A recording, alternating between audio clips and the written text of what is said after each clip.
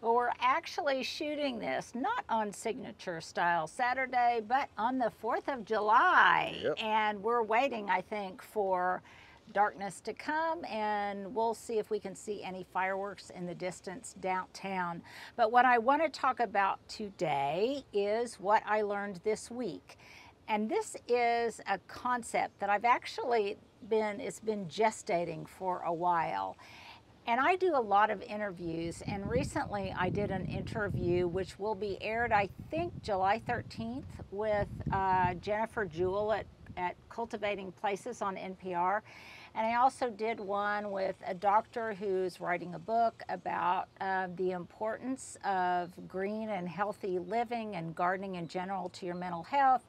And, and I've just done a number of different interviews, and there's there's one phrase that I have used, and I may have used it in my book. I really don't remember, and that is I talk about my passion for being a garden evangelist. In other words, I just feel evangelical about the mission that is gardening and how it can improve and enhance the quality of your life. And then I realized that that was looking at it in kind of a restricted way. Um, I've been reading a lot, and as you know, I kind of read both nonfiction and fiction.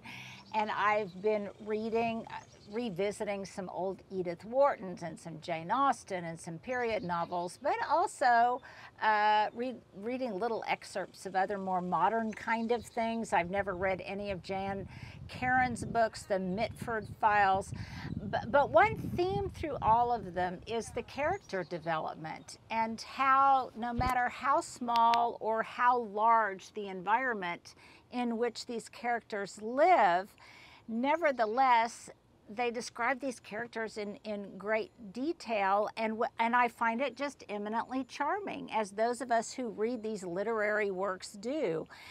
And I've started looking at my life through that lens. And I think, you know, quite often people say, Oh, Linda, you're so lucky that you have such, you have, you lead such a charming life and you have such a charming existence. And, and I will agree that definitely that is very true, is it not, Stuart?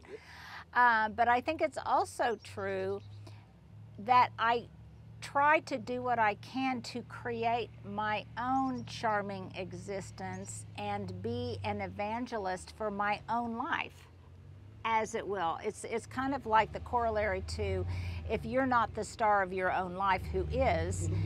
And if, if you know, you're not living in a movie set, then what is a movie set? And so I now look at my life I look at the people in it in a detailed, uh, more deconstructed way, as if they're characters in a novel or characters in a movie. And I do what I can to enhance the charm of my own life in big and small ways. And I, I was I was talking to someone the other day who said, "Gosh, isn't it just isn't it just so nice that you live near your friends and and that you can walk to each other's homes?" And I said, "Yes." And I said, "It's absolutely charming." And that charm was intentional. Um, and I think we can have intentionality to creating a charming life and to then becoming evangelists for our own lives. Yes, it's one of the reasons I love talking about how much I love my neighborhood because I because I do. Um, it's why I talk about um, just how wonderful it is that I can walk to these different these different places where there's great coffee or where I can get a great milkshake because those things enhance the quality of my life and they make me feel so evangelical about my life. Is it, Do you, am I making any sense, Stuart? and so I think it behooves all of us to be to look for the good in our lives. Not granted there's plenty that's wrong, but to really look for the what is good and charming in our lives, whether we live in really tiny towns where that doesn't have much to offer, or you are very fortunate like myself, and I can walk to my art museum, which to me is just, oh my gosh, isn't that just wonderful? So by looking at our lives through that lens of what what is charming about our lives. I, I, find it charming in the morning that my next door neighbor enjoys sitting on her porch, on her front porch at the same time that I enjoy sitting on my social patio. And we can wave to each other and say good morning, you know, and that's that's all it gets. But I feel immediate community and isn't that charming? And I can tell someone else how much I enjoyed that and then I become an evangelist for my own life not in a kind of um, nanny nanny boo boo way uh, that I, you know, that I live in a mansion and all this kind of thing, but just that I am attentive to the fact that I am very fortunate to live a very nice life. And I want to be evangelical about it because it not only communicates to you that I love my life, but it reinforces my own personal message to myself and to my loved ones. Isn't it wonderful? You know, isn't, you know, isn't it wonderful to be in this neighborhood at this point in time in good health on this 4th of July? And it just makes me feel as if I want to shout it from the rooftops. So there you go. There is my lesson for today. What I've learned this week, be an evangelic, uh, evangelical about your own life and see if it doesn't improve it day by day.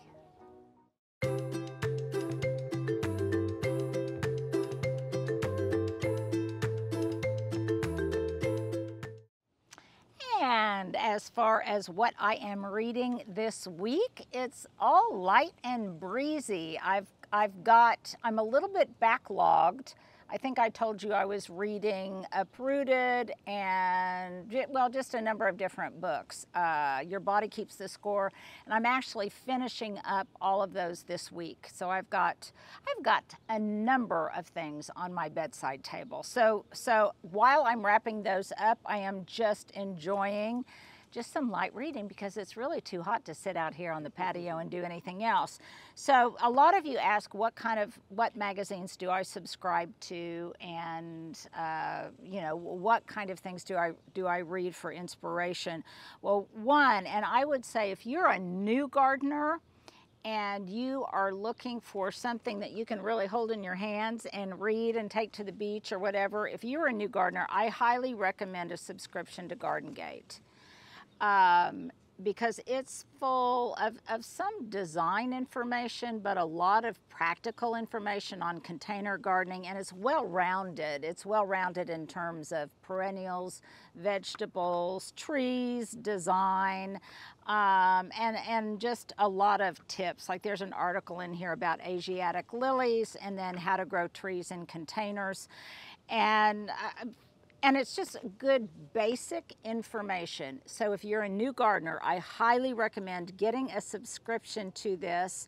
And because it's sentimental to me, because the editor is a good friend of mine. And they came out to the other house, gosh, how many times, Stuart, did they come out and shoot a spread oh, at the other house? And, and periodically in, in I can open up any given magazine and there might be a picture of the tulips up front or a container or something that we did.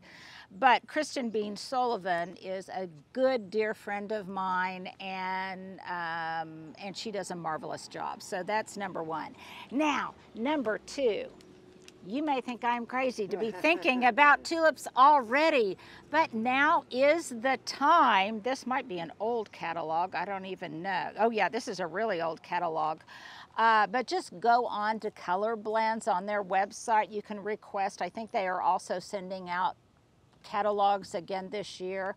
But just go to colorblends.com because now is when you want to think about placing your order for spring blooming bulbs next spring. So even though I'm not going to plant my tulips or my daffodils or any other spring blooming bulbs until, gosh, around Thanksgiving, I nevertheless want to order them now. They won't ship me, they will not bill me until I actually receive them, which for me is late October typically. But this way I can go ahead and reserve the collection the blends, the varieties that I want, which oftentimes are sold out if you wait too long. And so I would highly recommend just go to colorblends.com and look. And as I decide what I want, it's just, man, I'm, I, I knew what I used to want for the other house, but this is a whole different tableau, Stuart. So it's a whole new, uh, it's a whole different playground upon which I can play with different colored toys. So there you go. Just go to colorblends.com. Take some time in your reading to look over their website, request a catalog, and decide what you want to have in your spring garden. Well, happy 4th of July, even though you're seeing this on Saturday. So Saturday it will be, I don't know what date that will be. but today is Tuesday, the 4th of July, and this is my 4th of July ensemble, but it could easily carry me all the way through July because it is very, very much sundress weather, Stuart. It is just so hot. So it's all about being loose and flowy. This is a dress that I've had for a very, very long time. I think I got it at Old Navy. My earrings, these are kind of fun. These are kind of uh, nostalgic for me because I made these with my friend Jenny who is a bead buyer for Hobby Lobby, and we made these together. We made, we each made a pair for ourselves. Oh my gosh, how many years ago? 15 years ago, maybe? I'm not really sure. my top is a thrifted Ann Taylor Loft top, and all I've done is just tied it right here around my rib cage and I think it looks okay kind of cute this way but most importantly it protects my arms from the sun because even though I'm in a sundress I did today walk around the neighborhood to get in or at least a portion of my 10,000 steps and what's nice is I can take this off and you see it's just like a spaghetti strap sundress. So if I'm gonna go to the pool or something a little bit later, I can take this off. But nevertheless, it gives me some protection if I want it from the sun. So it's kind of like physical sunscreen. I just exposed my mic, Stuart. Uh -oh. So, uh-oh, all of our secrets. But it's kind of fun, it's kind of flouncy, it's lightweight, and it is uh, July Easy Breezy. What do you think? Well, Stuart, let's jump right into it with our question of the day. And my query is, how do you illuminate the night? How do you lantern? what is your lantern style? Because I have found you know, it used to be that having a lantern hanging in your garden from a shepherd's hook or something was very, very unusual and very distinctive. Early on, when I started to garden like 35 years ago, I had them hanging from different wrought iron hooks in my garden in the evening, and it, it became one of my signature touches because at that time it was relatively unusual. Now you can find every kind of lantern absolutely everywhere. And so my question for you is, how do you lantern? and what is your lantern vibe? So I've got all sorts of different kinds. I think the ones that we are most familiar with are the metallic ones, the metal ones, whether in galvanized, like I've got right here, or in black wrought iron. These were in my last year's lineup on QVC. I don't think they're available anymore. And quite frankly and quite honestly, um, there were some quality control issues with them. But nevertheless, I think they're good looking. They're still functional and I really like them. In the front, for me, I definitely would go with the wrought iron black aesthetic, and I'll show that to you a little bit later. But in the back, in my ultimately what I hope to be my outdoor living room and vegetable garden, kitchen garden, that's where I think I will use the galvanized metal finish. I really, really like it. Now what we put in our lanterns to light them up at night has evolved like everything else. Obviously, we start out with just the basics, basically just candles. And I've got, I love this one. This one is just kind of like, oh, I don't know, a chandelier, a standing Yeah. chandelier of votive like. candles. I got this at at Williams Sonoma many, many years ago, and Stuart was asking me why the votives inside looked kind of wonky, and I told him it's because they were out here too long, and I think they melted some. So, so obviously that is one of the drawbacks of using wax candles. Likewise, it is one of the drawbacks of using battery operated candles that have a wax veneer. So you guys have seen these before. These are the tapers that I like to use. If you unscrew the base, then you put in batteries right here. The downside to that for exterior lighting is number one, this does have a beautiful realistic looking wax veneer, but but it too will melt. I mean, when it gets really hot, it will melt, as will any kind of pillar candles that you might want to use. The other downside to these is that the batteries just don't seem to last very long. So that's kind of another detractor. Now, are they flameless? Are they safer for loved ones who might not want to be around? You may not- not feel comfortable them being around an open flame. We used to get these for my mother all of the time when she was listed when she was living in assisted living. Then definitely yes, or if they're near something precious. But they do have their downsides. So enter a third iteration and you guys probably are familiar with these, but for me, it was an aha moment. I wonder if, just like there are solar freestanding lights and lanterns for outside, I wondered if they made solar candles. They may, you know, the power may be stored in a battery, but nevertheless, are they solar powered and uh, rechargeable? And indeed. They are available, and what I love about them is that they are automatically programmed to come on at dusk and turn off at dawn. So I've got these, and they kind of, to me, look a little bit like votives on steroids. So they're a little bit larger, which makes them a little bit more impactful.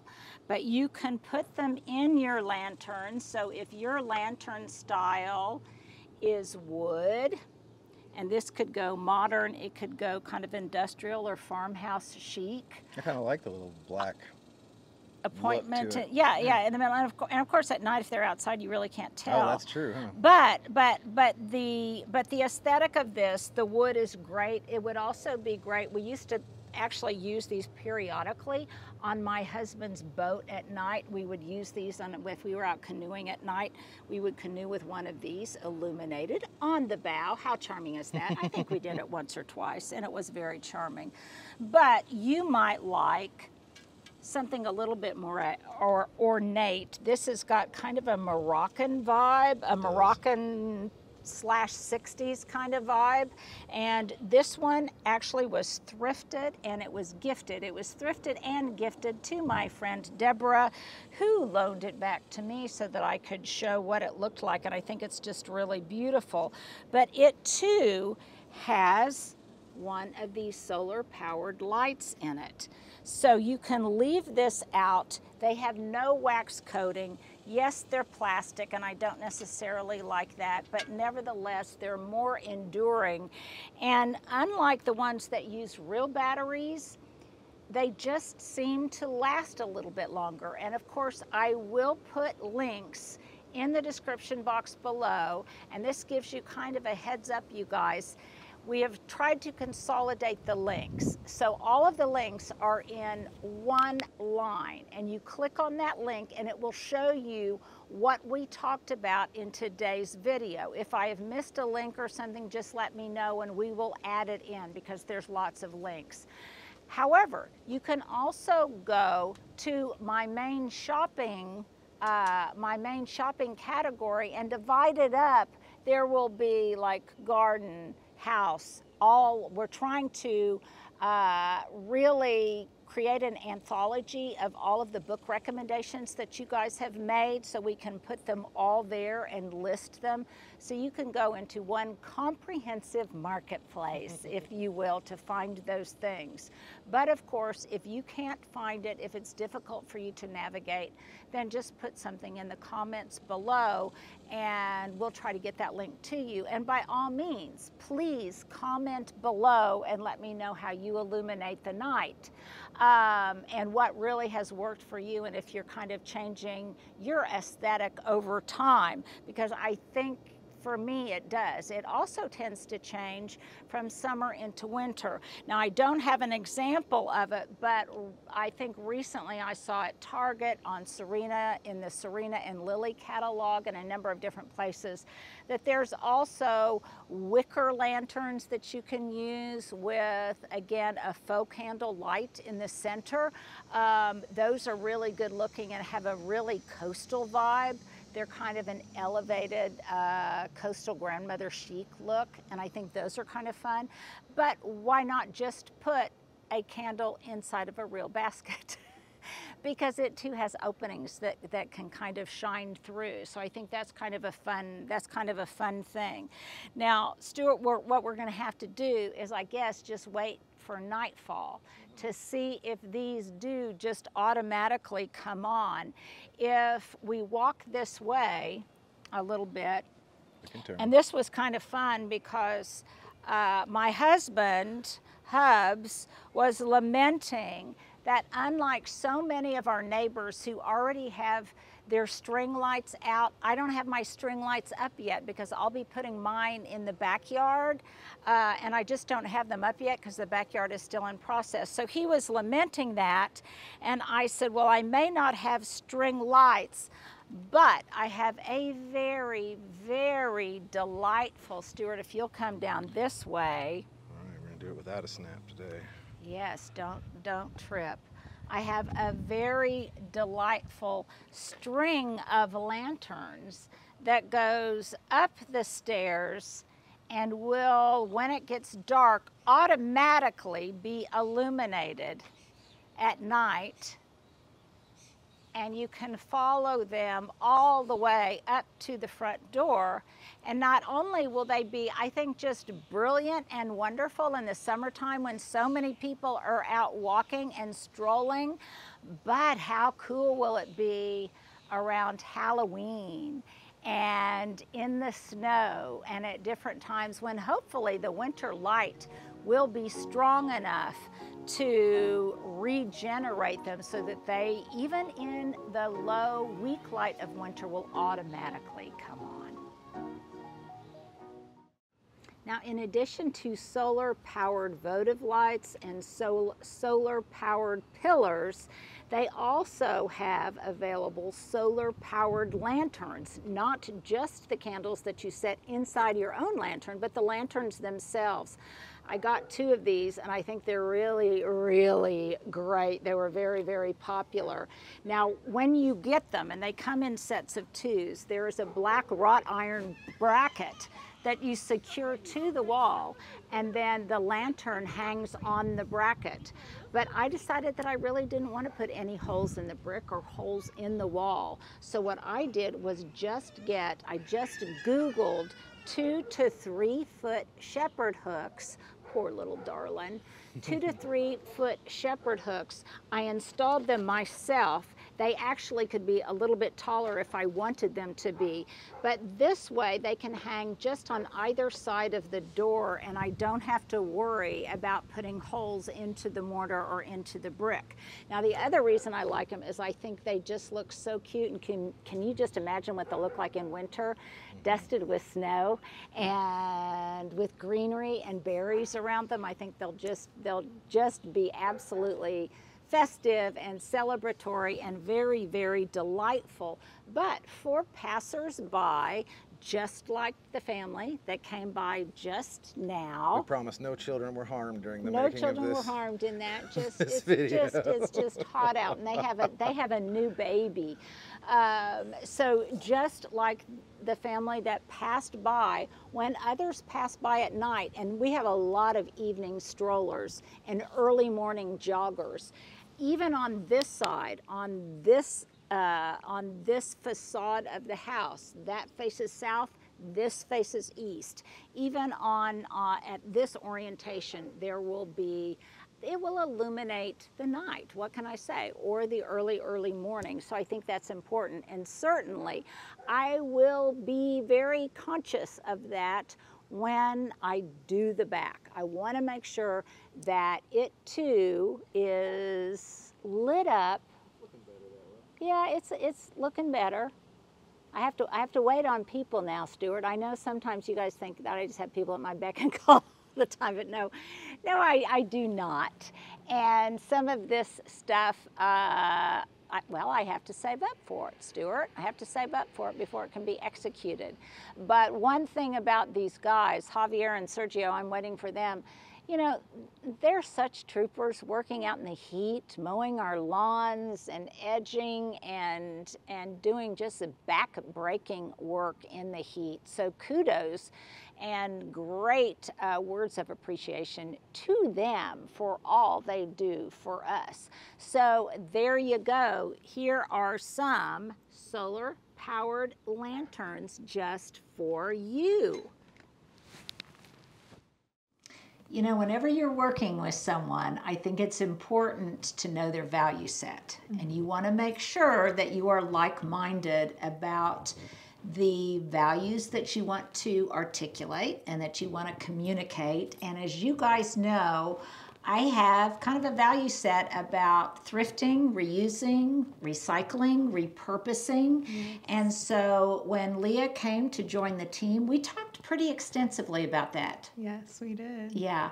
And I think that it's important for me that that everybody on the team kind of has that same mindset. So this may seem like an odd segue to our topic, which is to discuss a little bit about the things that I am going to be recommending for Amazon Prime Day, mm-hmm. which is on July 11th and yep. 12th. Yep. And Leah has really helped me with that. Yeah. Um, but first, let's talk a little bit. And, and I'm not being judgy here, but let's just talk a little bit about about our consumption philosophy. Yes. I kind of have a hierarchy of, of of how I think about things. And please, here's a question of the day. You guys let me know what lens you look through when you're thinking about acquiring something. Mm-hmm. So, first and foremost, as we were discussing about this, you were actually taking notes. Yes, I was. about my, my, my hierarchy of consumption. Our sustainability philosophy. manifesto. Yes, yes, our sustainability manifesto. I love the word manifesto. and number one on it was using what you already have. Or do I even need it? Yes. Do yes. I even need yep. it to begin with?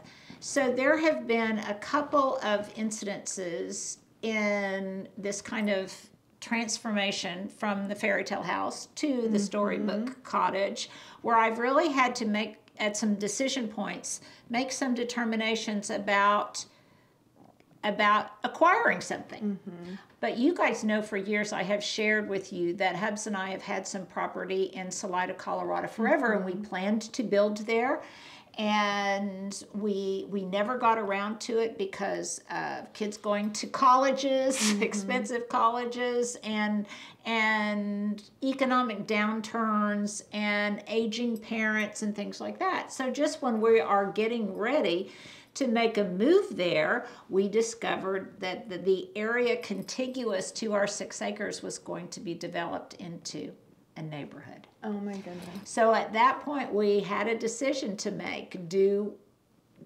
it, it what was our dream? And our dream was now basically had been kind of sullied. It, mm-hmm. We were not able to make our dream manifest because of some things beyond our control. So we decided that okay, do we really need a second place? Mm-hmm. Do we really mm-hmm. need a vacation home in Salida? Mm-hmm. And we decided that no, especially since we've got a son and daughter-in-law that live in Denver. and and it wasn't what we had imagined. and we didn't want to live in a neighborhood. And um, and we're we were that much older. And i'm and i don't want more really to take care of. So in order to leave lead a bigger life i want a smaller life template Yeah. so that was one of our first decision points mm-hmm. was do we even need it? Yeah. And we decided as much as we love Colorado, we can go to Colorado whenever we want mm-hmm. and we can stay in all sorts of different places including mooching off of my son and daughter-in-law when we go. So that was kind of our first decision point of an aha moment. Okay, do we really need it? Mm-hmm. Um, particularly at our at this point in time. Yeah. The second thing was, and you and I have talked about this a lot, mm-hmm. was my, I have always had a dream, just like Salida, Colorado, I always have a dream of having a greenhouse. Yeah. And we moved to the cottage, and I think it's important then, this is kind of life lessons, I guess, from one generation to another. Because she, you just tell us a little bit. You just moved Yeah, into an I, apartment. I'm literally thinking that. I just moved into an apartment here in Oklahoma City. So I've been we've been talking about this a lot, even with Amazon ordering things for my new space and what do I need, what do I not need. Yeah, what um, do you not and being need? intentional with those choices. Yeah, and I think it can be as something as grand as a piece of property or or or a greenhouse, which you mm-hmm. guys know I've shared with you that I decided based on a lot of things here at the college cottage.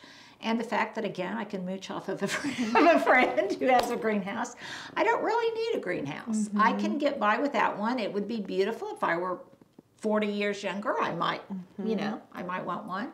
Uh, but I decided that I can still live my dream of a life without one. So I decided, in other words, there have been a number of decision points mm-hmm. where I have decided less is more. Yeah. I, I, I don't necessarily need that. Mm-hmm. To live my bigger life, I need less. And so that's basically, I think, the first uh, the first threshold in in my consumption philosophy, and I think yours too. Mm-hmm. Yeah. Number one, ask yourself the question: Do I really need it? Yep. Now, there's an exception to every rule, and if it's a plant, do I really need it for my garden? Then, well, yeah, maybe. Um, so there's exceptions to every rule. Well, and I think it goes back to being intentional. Like you decided with the backyard that the greenhouse wasn't the best use of the space, that you wanted more living area space. And so, in being sustainable, we're being more intentional with our choices. Yeah. Because not only is it the greenhouse, but it's all the packaging that comes with that, all the things that, you Yeah. know, all the trash and Yes. recycling that Yes. we talked about earlier this yeah, week. all too. of the So- residual things mm-hmm. that now you can, you know, there's probably a sustainable way to build it, but but a lot of it is how how not only how how much stuff mm-hmm. would it consume, but how much of my time would it consume, Yes, and yeah. think time that maybe now I want to dedicate to something else. And because when I was looking at the pros and cons of it, what I really wanted, and we're going to talk about this a lot on Sunday, is ultimately what the backyard is going to look mm-hmm. like. And I had my vision, and a greenhouse didn't necessarily fit into that vision. I tried to push it, I tried to fit a square peg into a round hole, Yep. And it just wouldn't go, mm-hmm. you know? Yeah. And sometimes we, you just need to come to a point of acceptance. So, first of all, the first threshold is do I really need it? Mm-hmm. The second thing we decided, do you remember what it was? Was it thrifting? Not yet, even before that. Can we get it for, For free. free? Yeah. Then the other thing, talk about this a little bit, Leah, because I've done most of the talking about, you know, I was one of 10 kids and we mm-hmm. used lots of hand me downs Yeah. and things. And there's nothing wrong with hand me downs. So, talk a little bit as a person that's just moved into a new apartment Yeah. about getting things for free or gifted from others. Love it. I've gotten things from you. I've purchased and been given furniture from friends. One of the best ways to be sustainable is, yeah, to pass things along to other people who might need it more than you, which everyone has been so generous. And my home is filled with things that I can say, Linda gave me that, Ben gave me that, so and so Right. gave me that. And it makes everything way more special. And yeah, reusing items. I'll cut clothes when I don't like the way they fit anymore. We talked about that while thrifting um, to make them reusable. So I'm all about that. And keepsakes and, and things that you get from others as hand me downs. Mm-hmm. It doesn't mean you can't put your own signature style on it. Yeah, true. Yeah, I love that. Yeah. So the other thing I think that we talked about is okay, you can get it for free, and and I would include things like I've gotten so many plant starts for my garden, Yes. um, things of that nature. We, you know, you can. I know when we moved from the big house into this smaller one, I I, I was giving away so much, you know, so Mm-hmm. much stuff. And have, Stuart, you were in on some of that. Yeah, your daughter You Julia, got I think free got stuff? some stuff. Yeah, got some stuff because if you're not using it, it's just like even a plant, if it's in the wrong place, is a weed. Mm-hmm. Okay, even something that may be beautiful, if you don't need it in your home, it's just an impediment to Mm-hmm. Yeah. living a bigger life. And so you kind of get rid of it and give it to somebody who can really use it and, and who can I don't know, optimize its value, Yes. I guess. And then and then beyond that, we talk and this is where you and I really connected was in thrifting. So talk about that. love, I love thrifting like we've done for clothes. I've been thrifting this week for a shelf for my bathroom. Almost bought one online, but I was like, this is something that would be cuter if I thrifted it. It'll have more wear and tear and it'll go with the space better. Yeah, character. Yeah. So I'm all about thrifting. I feel like I'm better at thrifting clothes than I am. I feel like you're good at thrifting items. So we may have to go on a little trip and thrift Yeah. some. And I think it's also about I like things with patina. I like things Mm-hmm. that have been previously loved. So how much of your is any of your outfit thrifted? Yeah, well, this is thrifted by my friend who's a vintage seller, so she found it for me. Um, and yeah, this shirt I think I've just had forever. A lot of them I've just had forever and used and reused, but this vest is thrifted, yes. Yeah, yeah, and I think that's I, I think that it's just special, and you can and again, it doesn't mean you sacrifice style or you sacrifice Mm-hmm. panache for, you know, when you are thrifting, Yeah. because on the contrary, I think you find one of a kind pieces that you can't find if you Mm-hmm. are- more, yeah, yeah. if you're constantly not that I'm bashing it, but if you're constantly buying, you know, all of your things at Nordstrom Rack, which I do, or at Target or whatever, you can find really really unique things. Yeah. And back to sustainability. That is, today I was shopping on Depop and there's all these pieces. I was looking on Amazon and then I was finding pieces like them on So, Depop. so okay, what is Depop? Depop is a site. It's like Poshmark. People Okay. sell and resell, but Depop has more vintage pieces. And so, yeah, they're pieces that you could never find anywhere. And just looking at the amount of clothes that are at Forever 21 or at the mall compared to the one piece that you can find at a thrift store or online, it's so much more special to find something special. So, And so many things just end up in the trash or they end up in the dark recesses of our closets, never to be worn again. And if I can't wear them, then I want somebody else to be able to wear them. Pass them not on, just- Linda. Yeah, that's well, them I've, I've already passed along some things. I'm good about more to passing come, along more to come. uh, but that said, I have some things that I've worn. Gosh, since I was in my early I 20s. love that. I Yeah. love Yeah, and that you know, and then what what was once popular comes back again. does. So so that back. yeah, so that makes you also kind of au courant and on trend when the cycle comes full circle. So but so then this is a long-winded way. I, I acknowledge that. Um, to talk about the fact that there are certain things, however, that you cannot find Yep. thrifted or you're looking for something that have ex- that has exact dimensions or has an exact aesthetic Or you're looking for so long and you need it. and you need it That's where I'm at with some things for oh. my apartment. I've Yeah. like been looking, been waiting. Right. But I'm at the point where I'm like, I just need to buy that. and how often have we gone out and you shop for something and then and by the way this is not a commercial for amazon or any online but it but it applies to just online shopping in mm-hmm. general you know you go to a store and how many times do you end up with five things to the one thing you needed? Mm-hmm. You know and true. and you end up and the ratio is not good you end up with a mm-hmm. lot of stuff that you don't necessarily need whereas i feel if i'm if i'm online and i am really looking for something. Yeah. so i am specifically looking for a product I just found. Something that uh, will take the etch marks out of honed marble. Things like that. Okay, if I'm looking for a very, very specific product like that, I don't even know where to look. And I don't particularly want to go to a mega box store to mm-hmm. find something like that. That I can be targeted looking online. A lot of times that includes Amazon for very specific Yes. solutions to problems because Same. that's how I, I kind of think how I'm solving or mm-hmm. how I'm spending my money these days. My disposable income is on problem solution or something that is, that is just inherently beautiful or that mm-hmm. fits in a certain space in in, in the cottage. Yep. Again, I'm not I am not being judgmental about Yep. anything if if but I'm also not saying no, you I'm an absolutist. Do not shop Mm-hmm. from Amazon. Do not shop from Wayfair. Do Yep. not shop. No, I'm not saying any of that. Yes. I, I'm saying that we go through, first of all, just due diligence Yeah. of what we need and what we really don't need, which, by the way, will change depending on how old you are, Mm-hmm. you know, and whether or not you have kids. So, we're going to be showing some things because it is Amazon Prime Day, and and quite accidentally, I have just found some great things on Mm-hmm. Amazon Prime that I was just blown away by. And some of you guys know, including plants. Oh my Mm-hmm. yeah.